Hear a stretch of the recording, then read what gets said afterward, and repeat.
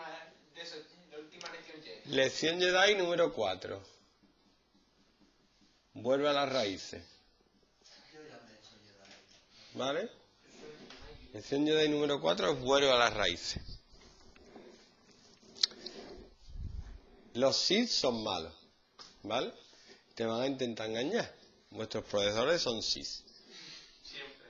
Sí, sí, ¿no? Vamos, es que es así. Y os van a intentar engañar poniéndonos que representéis funciones así. Bueno, que calculéis el dominio. ¿Vale? Van a poner cosas así. ¿Qué diferencia hay entre esto y esto? Eh, que el segundo tiene dominio en todo X. ¿Vale? O sea, todos los números reales. Se puede hacer la raíz cúbica de cualquier número, entonces el dominio es todo R. Sin embargo, aquí hay que hacerlo de siempre, en la ecuación, ¿vale? Entonces el dominio va a ser x mayor o igual que 2. Si os piden la gráfica de una función con raíces, lo primero que hay que hacer es el dominio, teniendo cuidado de que no sea raíz cúbica, no os va a poner, os va a poner una raíz cuadrada para que hagáis el dominio y demostréis que sabéis lo siguiente, que para dibujarla tenéis que coger números del 2 para adelante. El 2, el 3.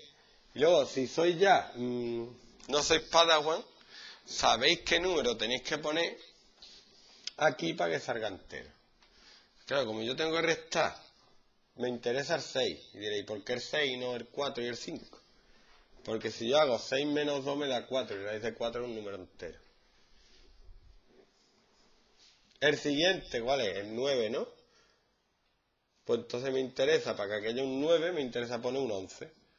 11 menos 2, 9, raíz de 9, 3. Entonces para 2 es 0, para 3 es 1, para 6 es 2 y para 11 es 3. Y os sale, a partir del 2,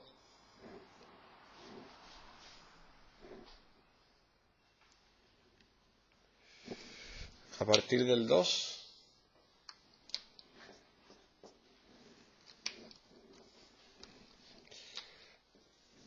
Dos cero, tres uno,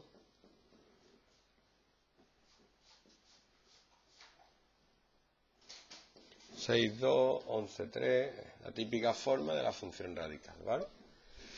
Se va creciendo, pero cada vez menos.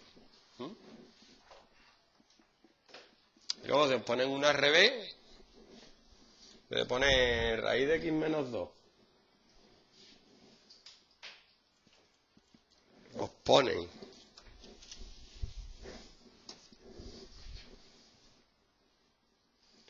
raíz de 2 menos x, que sepáis que es al revés. ¿Vale?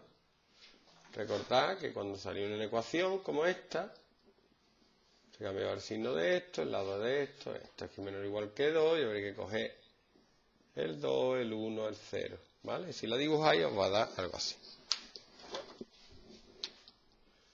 ¿Vale? Ya está. Más cosas.